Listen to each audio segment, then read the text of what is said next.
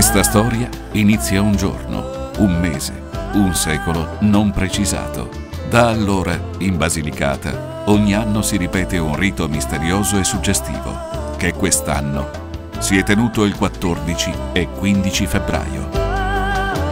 Durante il carnevale, a Satriano di Lucania, nel Parco Nazionale dell'Appennino Lucano, gli uomini si vestono da alberi. Impossibile e inutile scoprire chi per primo è diventato Rumit, uomo vegetale, albero vagante, maschera silente, che l'ultima domenica prima del martedì grasso gira tra le strade del paese strusciando il fruscio.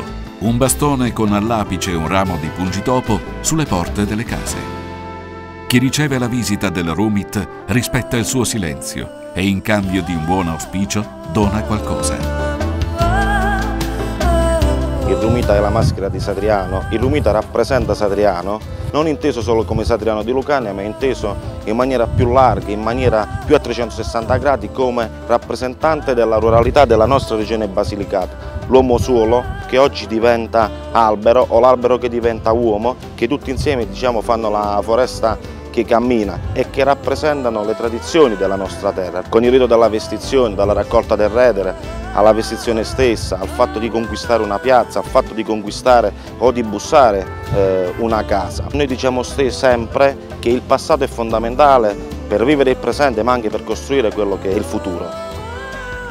I giovani satrianesi vogliono utilizzare il Rumit per lanciare un messaggio ecologista universale, ristabilire un rapporto antico con la terra per rispettare gli uomini e le donne che la abiteranno in futuro.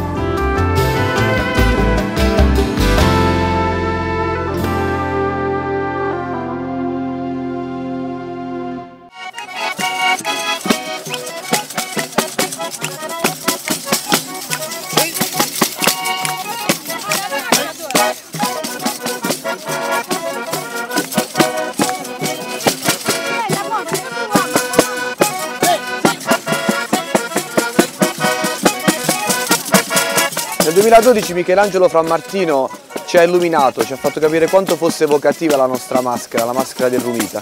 Lui per la prima volta ha vestito 100 Rumiti in una sola giornata. Noi abbiamo preso spunto da questa cinestallazione che lui ha portato addirittura al MoMA a New York e abbiamo cercato di far diventare il cinema una tradizione. Chi si veste da Rumita si fa portavoce di un messaggio ecologista perché basta guardare questa maschera per capire il rapporto indissolubile che c'è in Basilicata fra uomo e natura la volontà di ristabilire un rapporto antico con la terra. Per questo tutto l'evento sarà improntato nella ricerca del minimo impatto ambientale.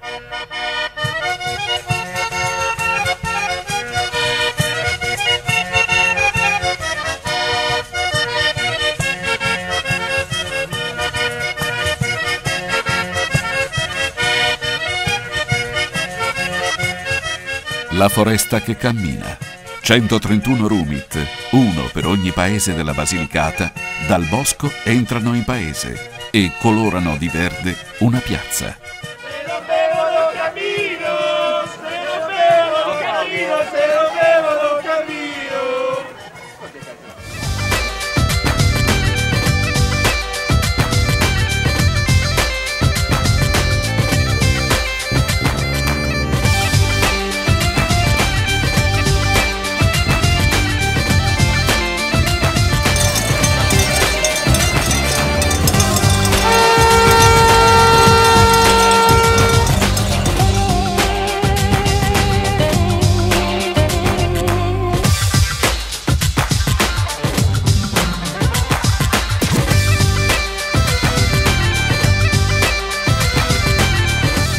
Siamo qui a Satriano, uno dei, borghi, uno dei 29 borghi del Parco Nazionale. Il Parco Nazionale è l'ultimo dei parchi nazionali nati in Italia.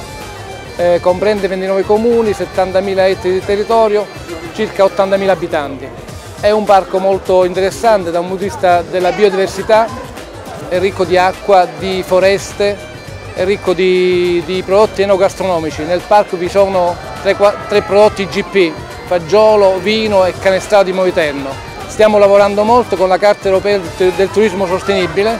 La nostra sfida è quella di poter eh, arrestare la forte eh, emigrazione dei giovani e il forte spopolamento dei comuni. Io spero che le popolazioni insomma, capiscano ancora di più il nostro sforzo e con loro dobbiamo fare i progetti, con loro dobbiamo lavorare.